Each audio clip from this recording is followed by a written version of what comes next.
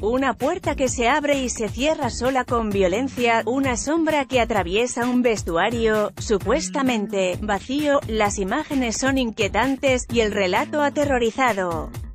Al borde del llanto, del guardia de seguridad que registró con su teléfono la presencia de un supuesto fantasma en el estadio de Huracán le da a la escena un carácter aún más tétrico. El video del empleado, que se viralizó en las redes sociales, muestra una extraña actividad en uno de los vestuarios del Tomás Adolfo Ducó. Lo quiero grabar ahora para que después me crea la gente, explica, con la voz entrecortada por el miedo, el autor de las imágenes. Según cuenta el guardia durante su relato, la escena transcurrió alrededor de las 11 de la noche y se repitió en más de una ocasión durante su turno de trabajo. QUE acute fu lo que pasó? El